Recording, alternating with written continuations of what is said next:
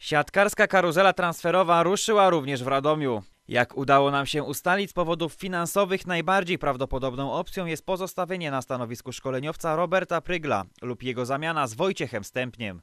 Najpewniej kolejnego sezonu w Radomiu nie spędzi Lukas Kampa. Choć kontrakt niemieckiego rozgrywającego podpisany został na dwa lata, to prawdopodobnie zostanie on rozwiązany. Bardzo prawdopodobna jest także zmiana na pozycji libero. Kto zastąpi Adama Kowalskiego dowiemy się dopiero po zatrudnieniu nowego szkoleniowca. Oddala się natomiast możliwość zatrudnienia Pawła Zagumnego. Guma miał być grającym drugim trenerem czarnych, ale do rywalizacji włączyła się warszawska Politechnika. Pierwsze decyzje, w tym ta najważniejsza o wyborze nowego szkoleniowca, zapadną jeszcze w tym tygodniu, a poznamy je prawdopodobnie na początku przyszłego.